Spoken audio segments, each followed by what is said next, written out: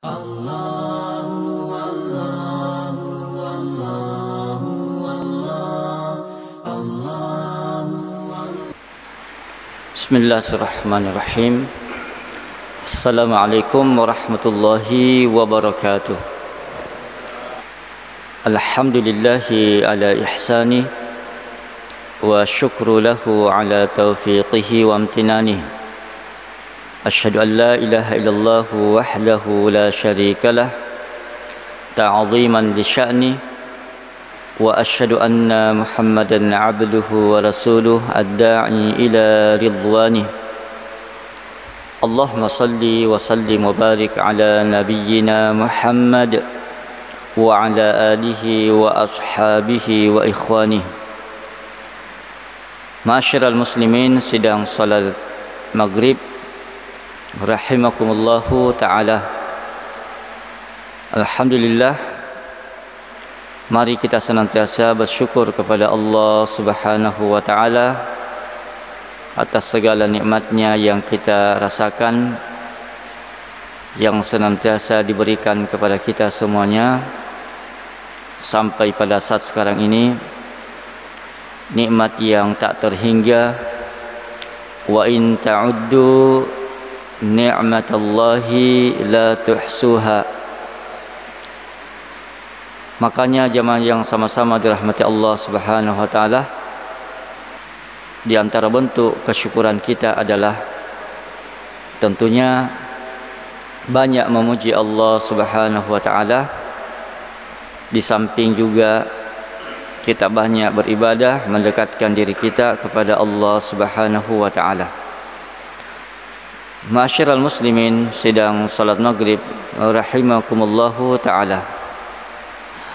Tentunya keberadaan kita di dunia ini hanyalah perjalanan yang sangat singkat yang mana kita manfaatkan untuk mencari bekal menuju perjalanan yang panjang yaitu perjalanan akhirat perjalanan yang kekal selamanya yang sering diselahkan dengan abadi. Kita manfaatkan keberadaan di dunia ini untuk menambah pundi-pundi amal kita dan kita berlomba-lomba untuk melakukan amalan-amalan yang sangat dianjurkan amalan-amalan nafilah amalan-amalan yang di mana Rasulullah sallallahu alaihi wasallam menyebutkan di sekian banyak hadisnya tentang keutamaan-keutamaan amalan tersebut sehingga kita termotivasi untuk mengamalkan bahkan mendawamkan yang menjadikan sebagai ibadah rutinitas kita sebagaimana pembahasan kita eh, pekan yang lalu atau pengajian kita yang lalu bahawa termasuk bentuk perlomba atau perlombaan berlomba-lomba dalam persoalan akhirat adalah memanfaatkan apakah itu terkait dengan tempat terkait dengan waktu yang mana amalan-amalan itu diberikan kelebihan atau keutamaan fadilah yang besar di sisi Allah Subhanahu wa taala. Demikian juga keberadaan kita semuanya di masjid ini. Di rumah Allah Subhanahu wa taala. Ya kembali datang berkumpul bermajlis tentunya untuk sama-sama belajar tentang agama kita ini mendengarkan nasihat saling berwasiat tentang al-haq tentang kesabaran dan semoga Allah Subhanahu wa taala memberikan kepada kita semuanya keistiqamahan dan mampu untuk mendawamkan merutinkan amalan-amalan sunnah yang begitu besar ganjarannya di sisi Allah Subhanahu wa taala sekalipun mungkin dari segi kuantitasnya hanya sedikit namun menjadi amalan yang dicintai oleh Allah jika itu dilakukan secara kontinu atau yang disebut dengan mudawamah. Ma'asyiral muslimin yang sama-sama dirahmati Allah Subhanahu wa taala. Di kesempatan yang berbahagia ini kami akan menyebutkan satu hadis hadis yang sering disampaikan sering disebutkan sering kita dengarkan. Mudah-mudahan dengan pengulangan ini memberikan kembali motivasi kita untuk bisa mengamalkan kandungan yang ada di dalam hadis ini yaitu hadis dari Mu'ad bin Jabal radhiyallahu an. Anna Rasulullah sallallahu alaihi wasallam. Sesungguhnya Rasulullah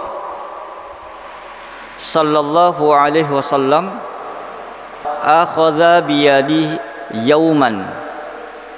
Kata Muaz bin Jabal radhiyallahu an pada suatu hari Rasulullah sallallahu alaihi wasallam itu mengambil tanganku memegang tangan tanganku.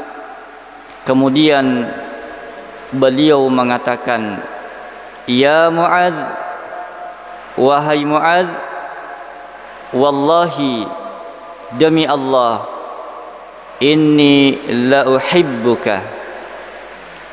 Sungguh aku ini mencintaimu. Faqala lahu muad maka muad mengatakan bi abi anta wa ummi ya rasulullah wa ana wallahi uhibbuk. Kemudian rasulullah sallallahu alaihi wasallam ketika dia sudah ungkapkan kata cinta kepadanya kepada Muad bin Jabal radhiyallahu an maka Rasulullah pun memberikan wasiat. Rasulullah bersabda dalam hadis ini Usika ya Mu'ad Saya berwasiat kepadamu wahai Mu'ad Saya berpesan Kepadamu wahai Mu'ad Alla tada'anna dubura kulla salatin. Agar engkau Tidak Meninggalkan setiap penghujung salat. Antaqul engkau membacanya. Engkau mengucapkan apa itu? Apa yang dipesankan kepada Rasulullah kepada Muad agar jangan meninggalkan kalimat ini atau zikir ini atau doa ini setiap penghujung salat. Allahumma a'inni ala zikrik. Ya Allah bantulah aku tolonglah aku untuk senantiasa berzikir kepadamu mengingat kepadamu wa syukrik dan selalu bersyukur kepadamu wa husni ibadatik dan beribadah dengan ibadah yang baik kepadamu. Sidang maghrib yang sama-sama dirahmati Allah Subhanahu wa taala. Ini hadis yang diriwayatkan oleh Imam Abu Daud dan An-Nasa'i. Kita akan sebutkan beberapa faedah di dalam hadis ini mudah-mudahan menjadi bekal kita untuk bisa mengamalkan sehingga apa yang kita dengarkan menjadi amalan atau buah ya buah ilmu yang kita dapatkan bisa kita dapatkan atau bisa ilmu ini bisa kita amalkan di dalam keseharian kita di dalam hadis ini Muaz mengatakan atau menyebutkan akhadha biyadi memegang tangannya. Ya. Jadi hadis yang tentang Muad bin Jabal ini anna Rasulullah sallallahu alaihi wasallam akhadha bi yadihi bahawa Rasulullah itu mengambil tangannya Muad memegang tangannya Muad kata ulama kita ini menunjukkan kecintaan rasa cinta kepada seseorang sehingga ya, disebutkan dalam hadis ini Rasulullah memberikan wasiat dia pegang tangannya menunjukkan kedekatannya dan ini juga pelajaran yang bisa kita ambil bolehnya memegang tangan seseorang dan di sini bahwa Rasulullah mengambil tangannya pada suatu hari kata ulama kita ini menunjukkan sesuatu ikatan kecintaan ikatan cinta terhadap seseorang itu. Kemudian Rasulullah sallallahu alaihi wasallam mengatakan kepada Muad, "Wallahi inni la uhibbuk." Demi Allah. Bahkan Rasulullah bersumpah pernyataan cintanya kepada Muad bin Jabal radhiyallahu anhu Rasulullah tegaskan dengan sumpah wallahi berarti ini menunjukkan sesuatu yang tidak main-main ini sampai Rasulullah bersumpah untuk menunjukkan bahawa Rasulullah betul-betul mencintainya sahabat yang mulia ini yaitu Muad bin Jabal radhiyallahu taala an wallahi inni la uhibbuk Rasulullah nyatakan rasa cinta kepadanya. Apa pelajaran yang sangat berharga di sini? Di sini menunjukkan keutamaan Muaz bin Jabal radhiyallahu an. Di mana bentuk keutamaannya? Bentuk keutamaan Muaz bin Jabal di dalam hadis ini adalah bahawa banyak orang menyatakan cinta kepada Rasulullah tetapi tidak semua Rasulullah nyatakan cinta kepadanya. Ya, kita-kita ini, apalagi kita umat yang belakangan ini, mungkin kalau ditanya apakah cinta kepada Rasulullah, semua kita akan menjawab cinta kepada Rasulullah.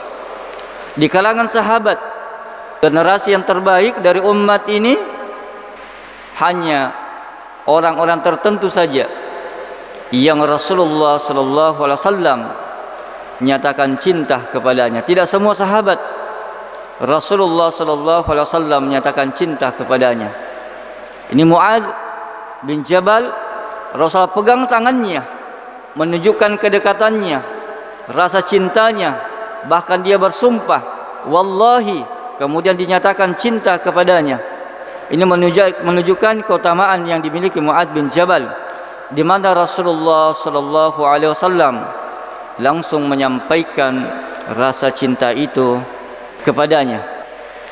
Kemudian ulama kita menyebutkan bahawa kalau kita cinta ya kepada seseorang tentunya cinta yang dimaksud di sini adalah cinta kepada seseorang itu dengan dasar agama karena ketakwaannya karena kesolehannya karena ibadahnya dan seterusnya tentang persoalan-persoalan akhirat. Sehingga hati ini condong cinta kepadanya suka dengannya. Disebabkan apa? Disebabkan keimanannya. Disebabkan keistiqomahannya.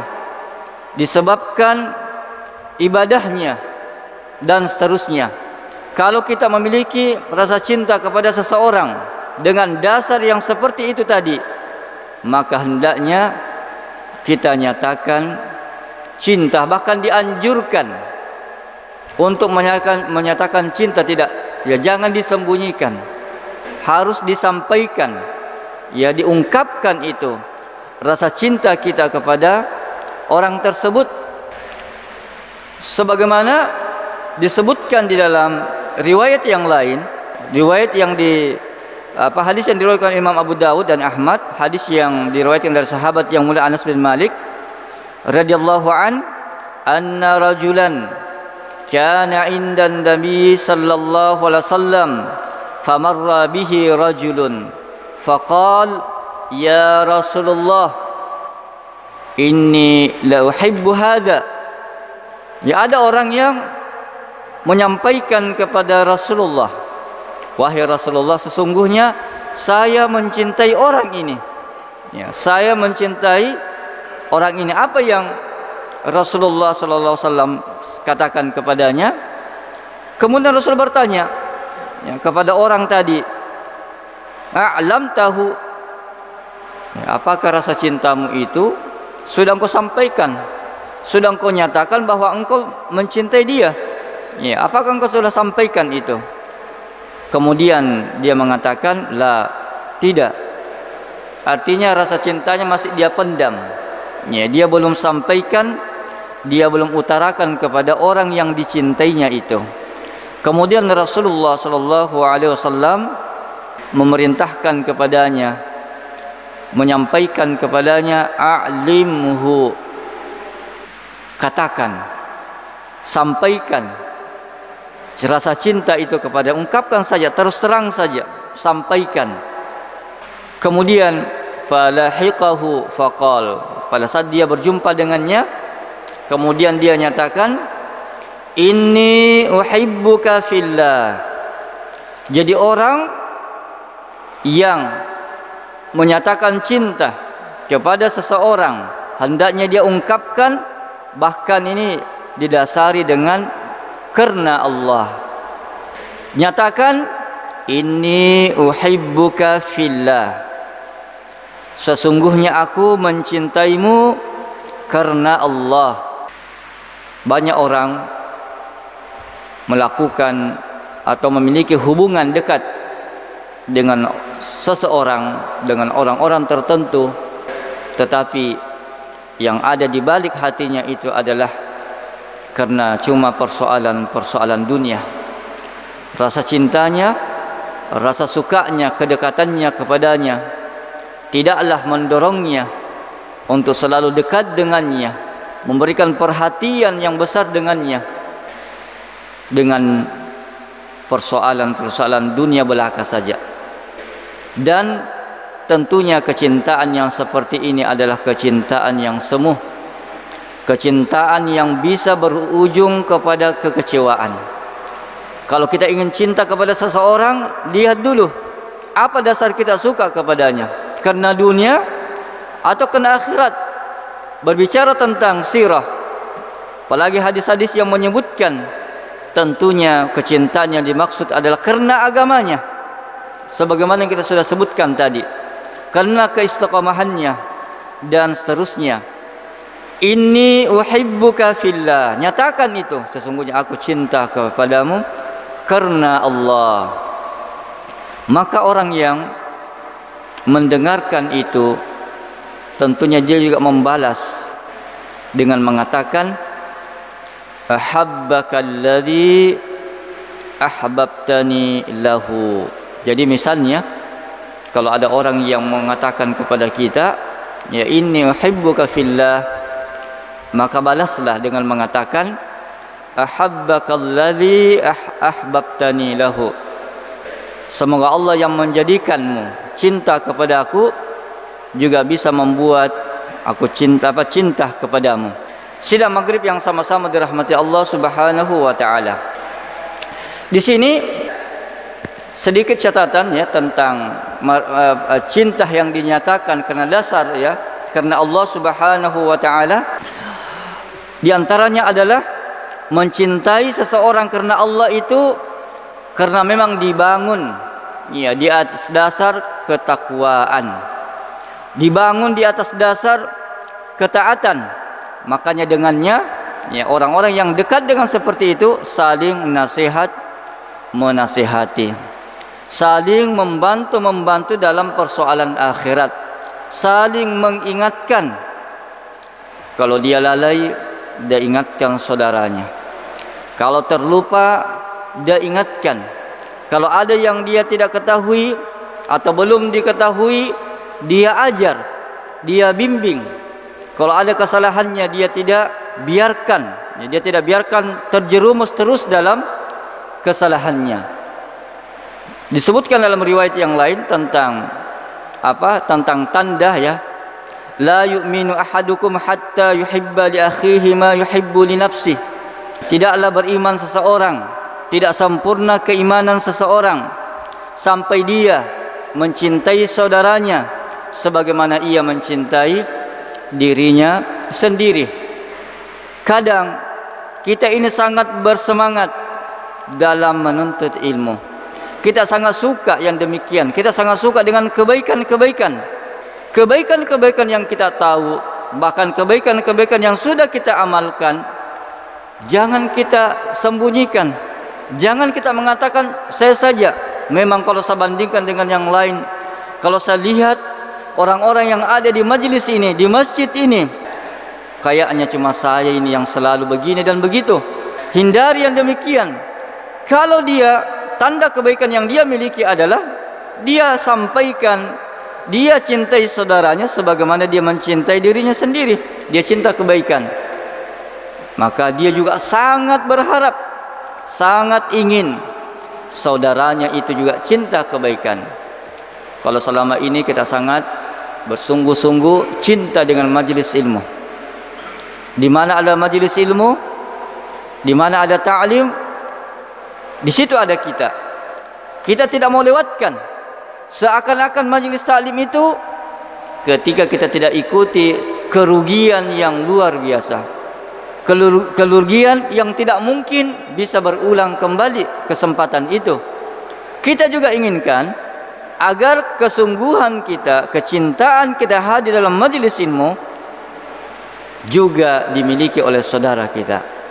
Kita inginkan dia juga menghadiri sebagaimana kita mencintai melakukan amal-amal sunnah, amalan nafilah, menjaga solat sunnah rawatib, menjaga solat witir kita, mengamalkan puasa-puasa sunnah, menjaga zikir-zikir harian kita. Kita juga inginkan saudara kita melakukan itu, ajarkan itu. Dan memang iman itu yazidu wa yanqus, ya, selalu naik dan turun. Kadang semangat, kadang lesu kembali, malas kembali, kalau kita mendapati saudara-saudara kita yang dulunya selalu berada di di samping kita. Di majelis ilmu ada di samping kita. Di salat berjamaah selalu berada di sop paling depan bersama dengan kita.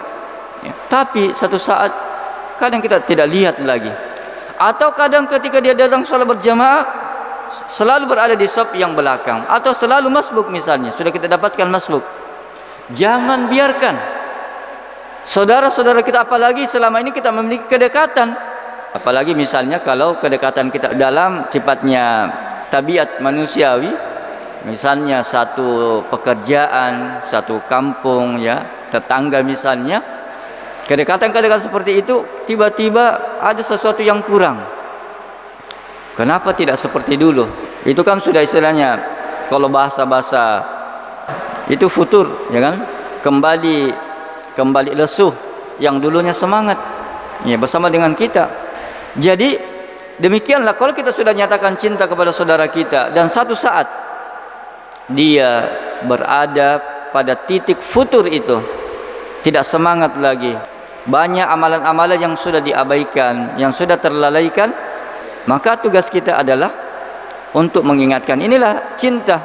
Kalau kita cinta kepada saudara kita ya tanda keimanan seseorang dia cinta saudaranya sebagaimana ia cinta kepada dirinya sendiri. Ha, di antara bentuk upayanya adalah mengingatkan saudara kita untuk senantiasa bisa kembali ia bersemangat dan hadir bersama kita di dalam melaksanakan berbagai macam amalan-amalan sunnah. Sidang maghrib yang sama-sama dirahmati Allah Subhanahu wa taala.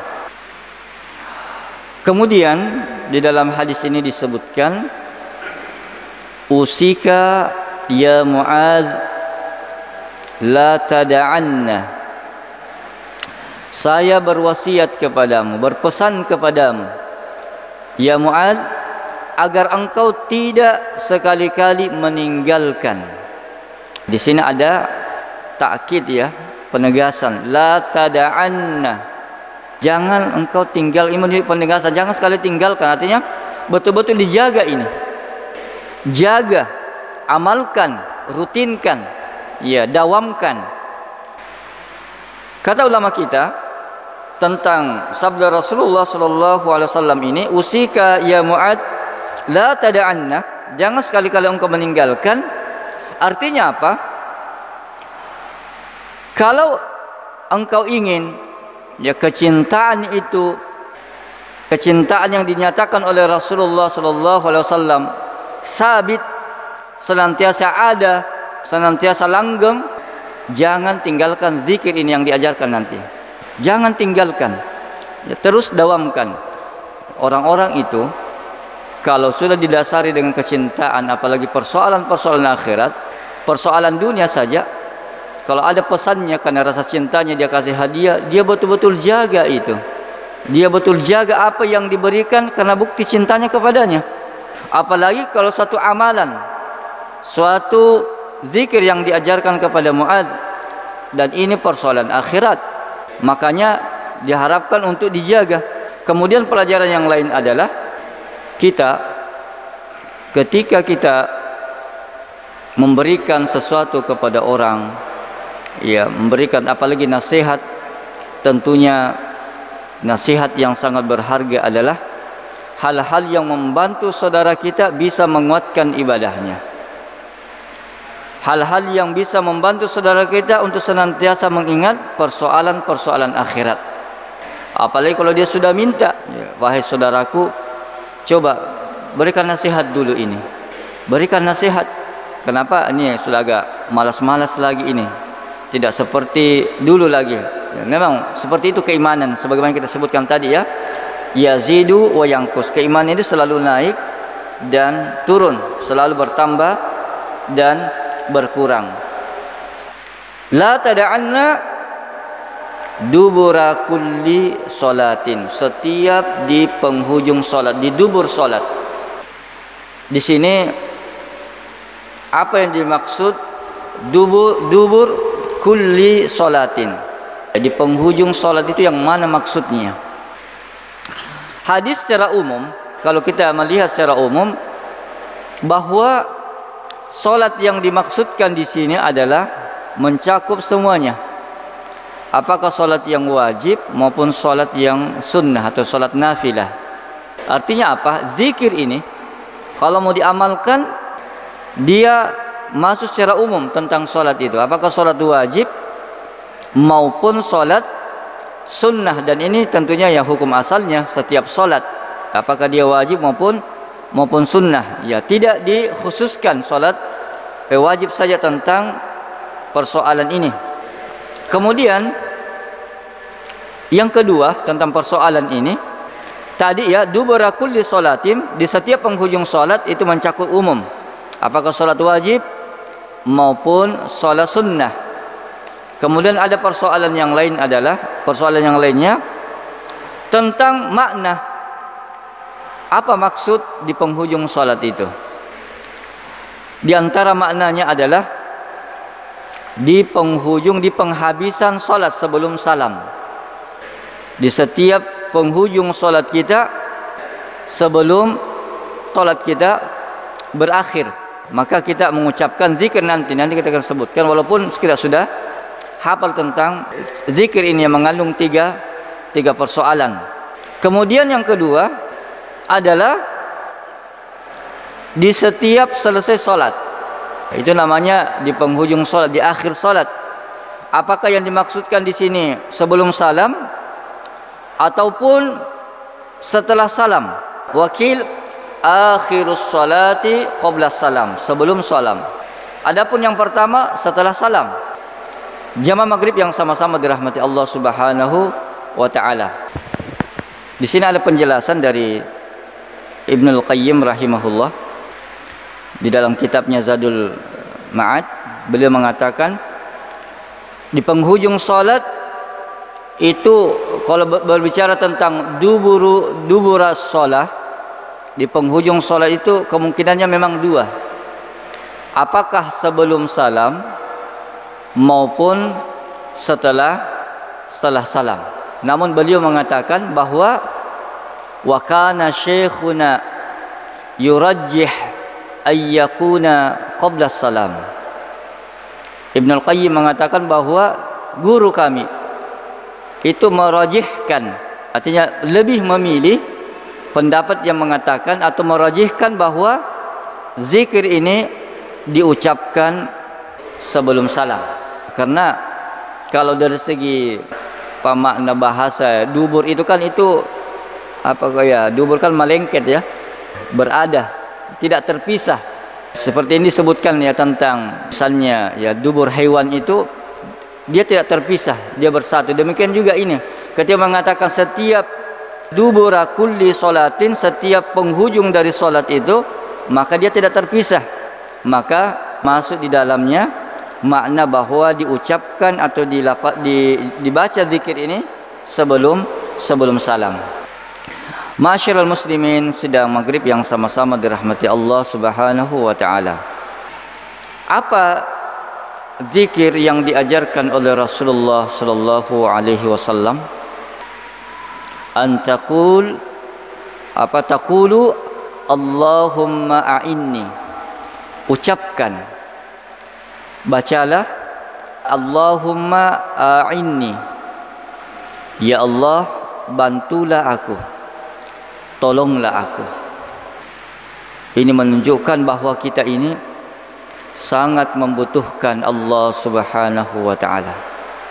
Bahkan di dalam persoalan-persoalan ibadah semua ibadah yang bisa kita lakukan kita laksanakan sampai selesai ibadah-ibadah itu itu adalah taufik dari Allah Subhanahu wa taala itu adalah inayah dari Allah Subhanahu wa taala.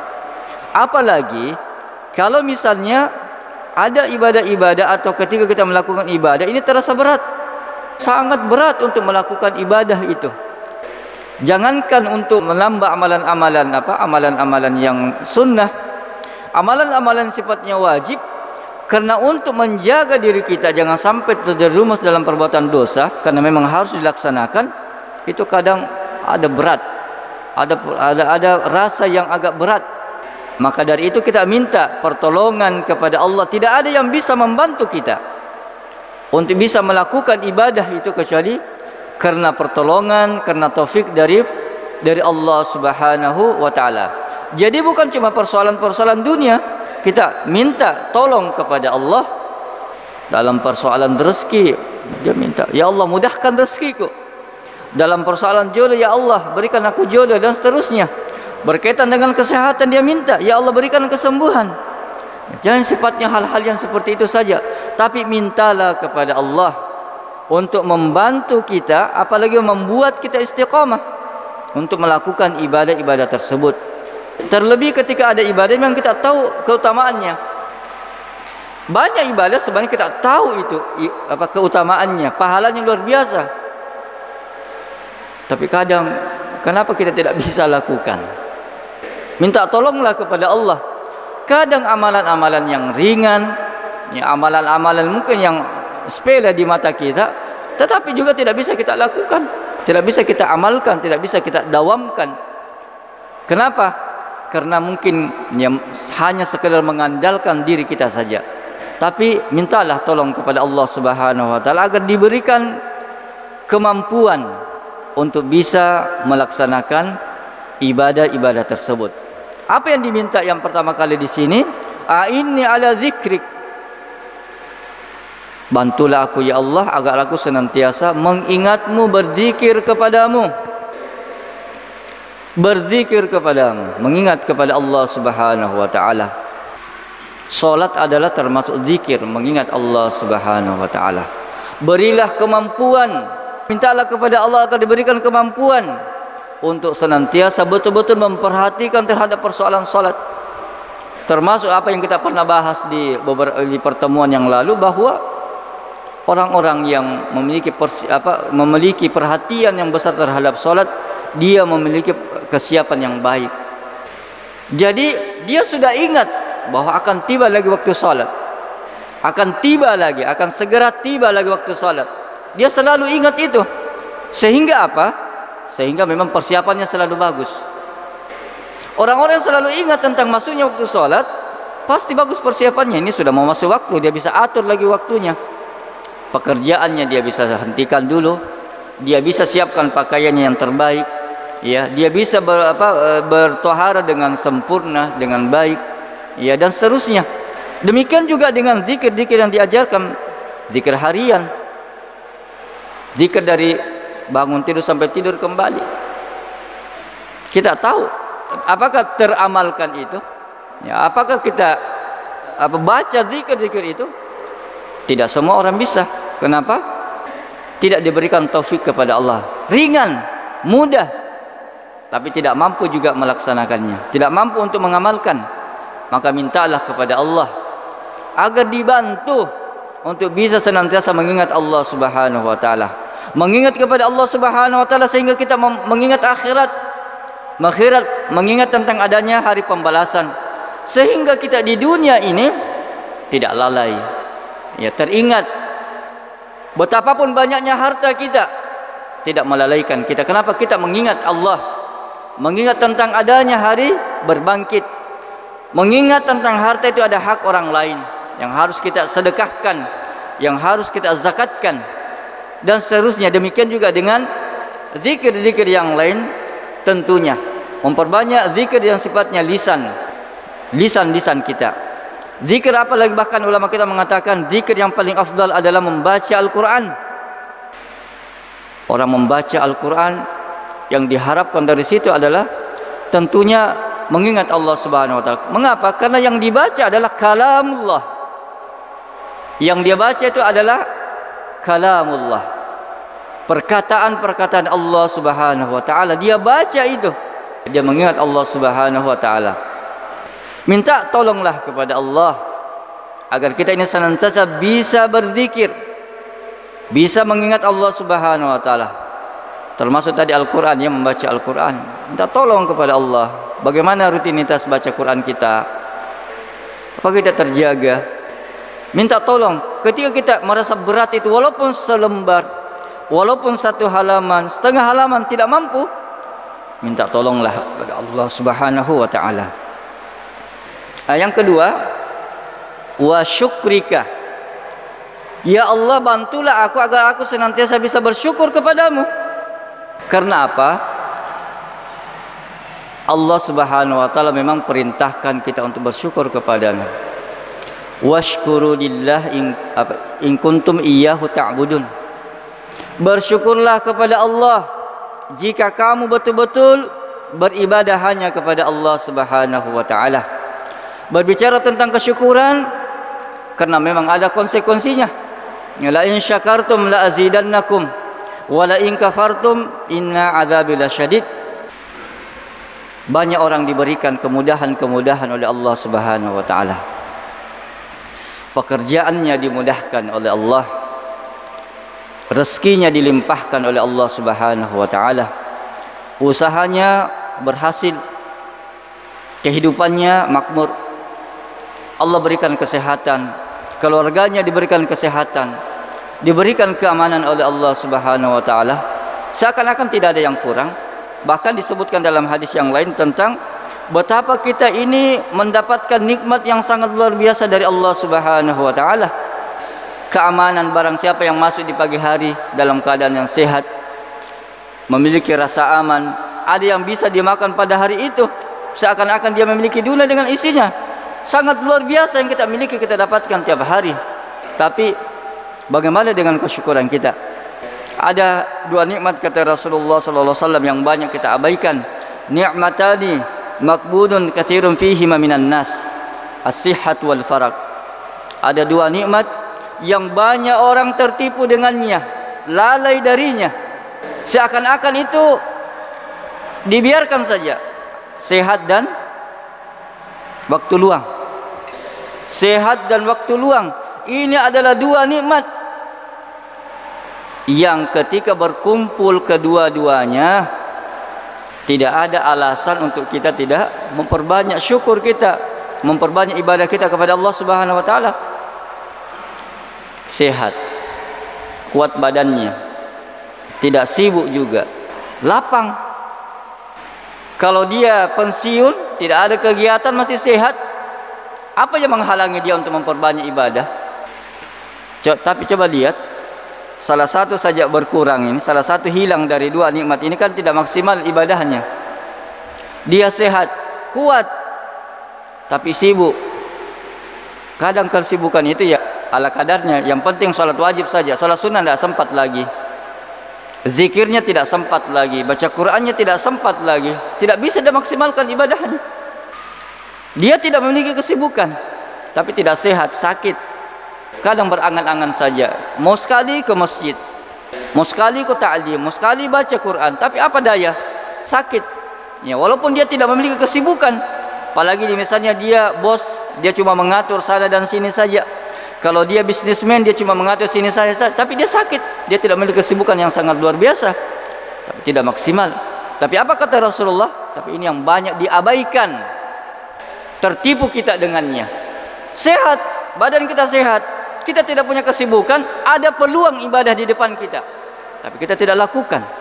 Orang yang bersyukur, ya di antara sekian banyak nikmat ini, dua saja yang kita sebutkan dalam hadis tadi, sehat dan waktu luang. Tidak ada alasan untuk bermalas-malasan beribadah. Apalagi kalau seperti genggaman kita baca Al-Quran buka saja. Tidak ada situ. Dan seterusnya. Jemaah maghrib yang sama-sama dirahmati Allah subhanahu minta tolong kepada Allah agar kita ini bisa bersyukur kepada Allah subhanahu wa ta'ala. Kenapa? Nikmatnya Allah subhanahu wa ta'ala sangat sedemikian banyaknya. Wa in ta'uddu ni'matallahi la tusuha banyak sekali sampai kita tidak mampu mengingatnya. Ya tidak mampu lagi menghitung-hitungnya demikian banyaknya. Bandingkanlah dengan bentuk kesyukuran kita. Nikmat Allah yang sangat luar biasa itu ya bandingkan dengan bentuk kesyukuran kita sidang maghrib yang sama-sama dirahmati Allah Subhanahu wa taala. Yang terakhir wa husni ibadatik yaitu memperbagus ibadah kepada kepadamu. Jemaah yang sama-sama dirahmati Allah Subhanahu wa taala tentang ibadah kan kita tidak bisa asal-asalan saja. Tidak bisa sekedar kemauan kita saja. Pasti kita inginkan sesuai dengan syaratnya. Pasti ibadah yang kita lakukan ini tentu ibadah yang sempurna. Kalau dia solat terpenuhi rukunnya terpenuhi sunnah-sunnahnya terpenuhi wajib-wajibnya dan seterusnya. Demikian juga dengan ibadah-ibadah yang lain. Kita ingin ibadah kita diterima oleh Allah Subhanahu wa taala dan kita juga sangat ingin agar ibadah yang kita lakukan itu adalah ibadah yang sempurna di sisi Allah Subhanahu wa taala. Ketiga hal ini tentunya tidak bisa mengandalkan kemampuan manusiawi kita. Minta tolong kepada Allah kepada yang maha kuat Allahumma inni ala dzikrika wa syukrika wa husni ibadatik saya kira cukup karena waktu sudah habis ya saya mohon maaf atas segala kekurangan ya semoga Allah Subhanahu wa taala senantiasa memberikan taufiknya kepada kita untuk bisa mengamalkan amalan-amalan yang kecil dan tetap bisa istiqamah dengannya. Subhanakallahumma bihamdik asyhadu la ilaha illa anta astaghfiruka wa atubu ilaik. Sallallahu ala nabiyina Muhammad wa akhiru da'wana alhamdulillahi rabbil alamin. Assalamualaikum warahmatullahi wabarakatuh.